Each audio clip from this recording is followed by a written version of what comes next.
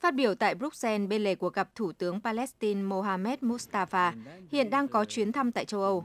Ông Borrell nhấn mạnh tình hình ở Gaza và bờ Tây đang trở nên tồi tệ với các cuộc tấn công của người định cư Israel nhằm vào người Palestine và hoạt động viện trợ nhân đạo. Ông Borrell cũng phản đối hành động của Israel ngừng chuyển tiền thuế cho chính quyền Palestine vì điều này ảnh hưởng đến khả năng hoạt động của Palestine.